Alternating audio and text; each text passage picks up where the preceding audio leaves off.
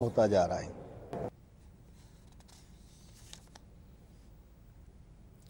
ಸಾಕ್ಷರತೆಯು ಆರ್ಥಿಕ ಅಭಿವೃದ್ಧಿಯಲ್ಲಿ ಪ್ರಮುಖ ಪಾತ್ರ ವಹಿಸುತ್ತದೆ ಸಂಪೂರ್ಣ ಸಾಕ್ಷರತಾ ಅಭಿಯಾನ ದೇಶದಲ್ಲಿ ಶಿಕ್ಷಣ ಪ್ರಚಾರ ಪ್ರಗತಿಗೆ ಕಾರಣವಾಗಲಿದೆ ಎಂದು ರಾಜ್ಯಪಾಲ ಥಾವರ್ಚಂದ್ ಗೆಹ್ಲೋಟ್ ಅಭಿಪ್ರಾಯಪಟ್ಟಿದ್ದಾರೆ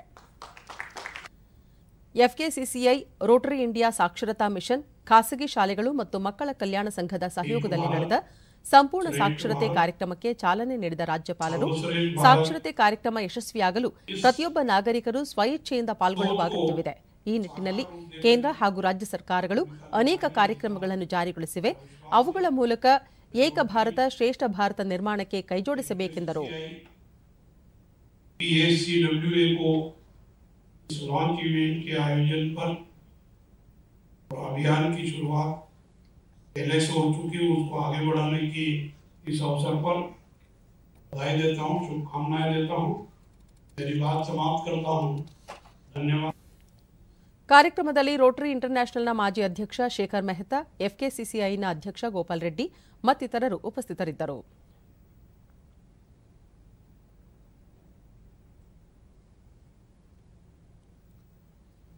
ವಿದೇಶ